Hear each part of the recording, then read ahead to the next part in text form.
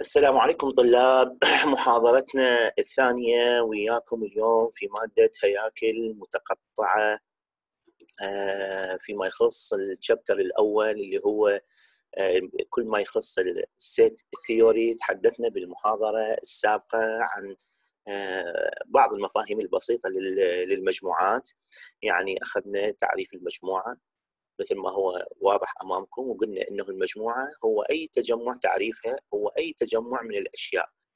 وهذه الأشياء ممكن نسميها element وممكن نسميها members وأخذنا آه، فكرة إنه شلون نكتب المجموعة شلون نكتب يعني المجموعة كحروف capital letter وشلون نكتب عناصر المجموعة كحروف small letter وشلون نكتب علامات يعني شلون نكتب الانتماء رياضيا شلون نكتب الانتماء للمجموعة وعدم الانتماء للمجموعة وأيضا شلون ننطقه. يعني لما نقول a هو عنصر من عناصر المجموعة X a belong to x. ينطق بهذه الصورة أو بالعربي ال a هو عنصر من عناصر تنتمي إلى x. وأيضا تكلمنا عن أشكال تمثيل المجموعات. أشكال تمثيل المجموعة يا ريت اللي صوت جاي. يعني خلينا آه، أشكال تمثيل المجموعة وقلنا إنه بالإمكان تمثيل المجموعة بثلاث طرق. الطريقة الأولى هي ذكر كل عناصر المجموعة محصوره آه، بين محصورة بين قوسين ويفرق بين عنصر وآخر بوجود فارزة. هذه هو الطريقة الأولى لتمثيل المجموعة ذكر كل عناصر المجموعة اذا كان هذا ممكن يعني إذا كان ممكن إنه ذكر عناصر كل المجموعة ف ممكن تمثيل المجموعة بهذه الطريقة. الطريقة الثانية هي ذكر صفة المجموعة. يعني نكتفي أن نقول صفة المجموعة لا ذكر عناصرها. مثلا نقول لتكن المجموعة أي هي مجموعة كل الأعداد الطبيعية آه، الزوجية أو مجموعة كل الأعداد الطبيعية الفردية. فذكرنا صفة المجموعة لم نذكر المجموعة عناصر المجموعة فردا فردا.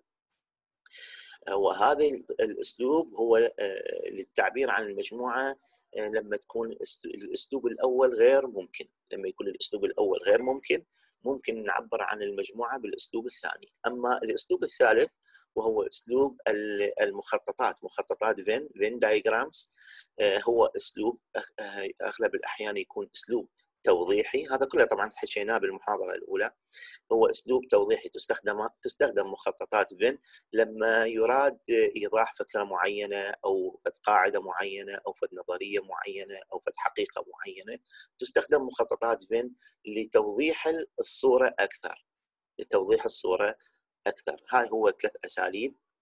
من أساليب التعبير عن المجموعة. طبعا أخذنا أمثلة على الأسلوب الأول وعلى الأسلوب الثاني. ووصلنا وياكم إلى المجموعات الجزئية السبست المجموعات الجزئية. طبعا من تشوفون كلمة definition نقصد بها نريد نعرف نريد نعرف شيء معين. فكتعريف للمجموعات الجزئية قلنا إذا عندنا أي مجموعتين مجموعة أولى اسمها مثلا لا على التعيين اسمها A ومجموعة أخرى اسمها B وكان وهاي المجموعتين حققوا لي شرط معين وهو إنه كل عنصر من عناصر A ما هو إلا عنصر من عناصر B فتكون المجموعة الجزئية A تكون المجموعة A هي مجموعة جزئية من المجموعة B. وانتبهوا في المجموعات الجزئية انتبهوا على كلمة كل. جاي نقول كل عنصر من عناصر المجموعة الأولى A ما هو إلا عنصر من عناصر المجموعة الثانية B. وهنا كلمة كل تشمل كل العناصر. فبنعبر عن بالتعريف نقول if A ينتمي إلى A capital A implies A ينتمي إلى B. ما نقصد هو العنصر A يعني عنصر معين A. نقصد لا على التعيين X من العناصر. نقدر نستعيض عن هذا ال A بX. يعني نقول أي عنصر. من عناصر A ما هو إلا عنصر من عناصر B إذا تحقق هذا الشرط بنقول إنه المجموعة A هي مجموعة جزئية من المجموعة B. طبعا هذا هو ال A هذا هو آه، آه، أسلوب التعبير عن المجموعة الجزئية. تكتب A ويكتب هذا علامة الاحتواء علامة الاحتواء وتحتها آه، خط تحت خط ويذكر المجموعة الثانية ال A subset من ال B بعض الكتاب يكتبوها بهاي الطريقة بدون هذا الخط السفلي. A subset من ال B للتعبير رياضيا عن المجموعة الجزئية هو هذا هنا التعبير في الأسفل التعبير الرياضي للتعبير عن المجموعة. يعني A تكون subset من B إذا كان لكل a لكل a ينتمي إلى A يحقق أنه هذا ال a موجود في B ممكن نستعيض عن if and only if بسهم باتجاهين نفس الشيء. أما نكتب if and only if باللغة الإنجليزية أو نرسم سهم بالاتجاهين. وذكرنا إنه السهم بالاتجاهين يعني إنه العلاقة متحققة من اليمين من اليسار إلى اليمين وكذلك متحققة من اليمين إلى اليسار. يعني إذا واحد قال أي مجموعة جزئية من بي هذا يعني إنه كل عنصر من عناصر اي ما هو إلا عنصر عنصر ما هو إلا عنصر في بي وإذا واحد اجى قال اليمين قال إنه عندي مجموعتين لكن هاي المجموعتين كل عنصر من عناصر A هو عنصر من عناصر B نقول له اذا المجموعة A هي مجموعة جزئية من B. هذا فيما يخص المجموعات تعريف المجموعة الجزئية اللي اخذناه بالمحاضرة السابقة. أيضا ال equality of set يعني متى تتساوى مجموعتين؟ متى تتساوى مجموعتين؟ ك equality للمجموعات. حقيقة آه، لو كانت عندي مجموعتين مجموعة اسمها A ومجموعة اسمها B فيتحقق التساوي. التساوي يتحقق التساوي إذا تحقق الشرط التالي.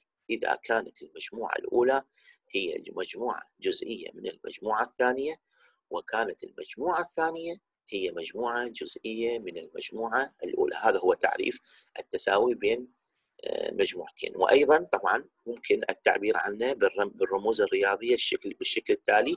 وأيضا نلاحظ إنه علامة ال if and only if علامة السهم بالاتجاهين متحققة. يعني لو واحد ينطيك مثال يقول لك أكو فد مجموعتين مجموعة اسمها A ومجموعه اسمها B متساويات. أنت لازم ينصرف الذهن دائما إنه المجموعة الأولى هي مجموعه جزئيه من الثانية. وأيضا المجموعة الثانية هي مجموعة جزئية من الأولى. طبعا هذا السهم اللي بالاتجاه الواحد مو صحيح يعني لازم كلمة اند هنا يعني أكو خطأ يعني هنا مطبعي. آه، وهكذا هذا هو أسلوب التعبير عن آه، مجموعتين آه، متساويتين. كأمثلة يعني تكلمنا عن أمثلة بسيطة بالأرقام. يعني لو كانت عندي مجموعة A ومجموعة B ومجموعة C. وكل واحدة من ضمن من عندها مجموعة من الأرقام مثل ما موضح أمامكم.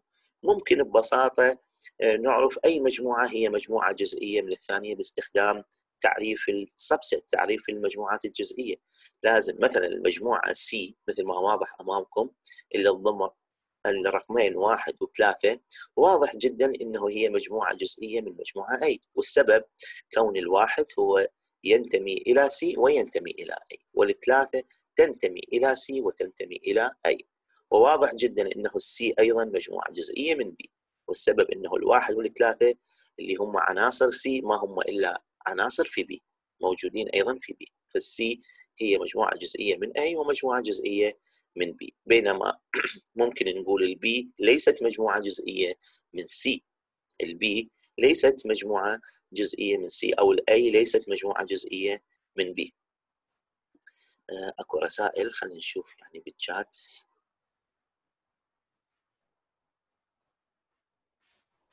آه، المايكات أنا فاتحها من يمي حقيقة. آه، وحتى اتاكد لكم يعني. بس خل أحاول. هسه أنا فتحت المايكات من يمي كلها يعني. ماكو مايك مغلق يعني. تقدرون يعني تحجون في أي لحظة. okay. واحد اثنين ثلاثة أربعة خمسة ستة. الحضور ستة تقريبا. سبعة. ستة أو سبعة. أي واحد يريد عنده ملاحظة أو يريد يتكلم خليه يتكلم عادي يعني. هاي كانت كان مثال على المجموعات الجزئية ووصلنا إلى مكان اللي هو ال property. يعني خواص شوف كلمة property هاي يعني خاصية خاصية معينة يراد ذكرها. الخاصية الأولى اللي هنا اللي مراد ذكرها هي كالآتي راح أقرأ لكم إياها بالإنجليزية وأشرح لكم إياها يعني بالعربي شنو شنو المقصود من هاي الكلام. The statement A subset من B does not exclude the possibility that A equal to B. يقول هذا الرمز A مجموعة جزئية من B لو تلاحظون إنه هذا التساوي اللي تحت يعني الخط اللي يصير تحت الرمز آه، غصون تعاني من الرمز ليش؟ الرمز حازم خاف تدخل H capital خلي تدخله كله small letter اتصور هيك يعني. الرمز يعني الرمز الرمز لو ال password. إذا الرمز ليش يعني؟ نفس الرمز. كلكم دخلتوا على نفس الرمز. آه، حضوركم صار تسعة زين يعني ثمانية قصدي. منار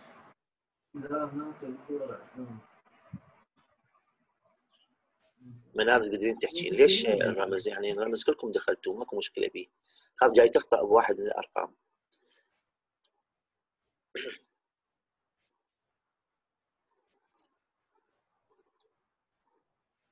أكو مشكلة هسه عندكم؟ أريد واحد يحكي من عندكم. أكو مشكلة عندكم؟ إذا واحد عنده أكو مشكلة بالموضوع خليه يتكلم. أنا فاتحة أنا فاتحة المايكات كلها.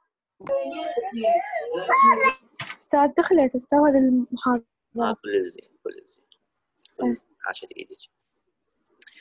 آه، نكمل المحاضرة. أكو شيء عندكم ملاحظة تحبون نرجع أو نركز على فد موضوع معين؟ لو نكمل. حسن؟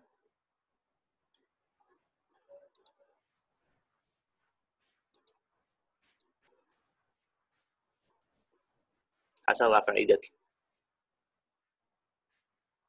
ماكو أحد المهم نكمل المحاضرة. الخاصية الأولى نقول ال statement هاي أي subset من B نلاحظ إنه هاي علامة ال subset ماكو جواب. ماكو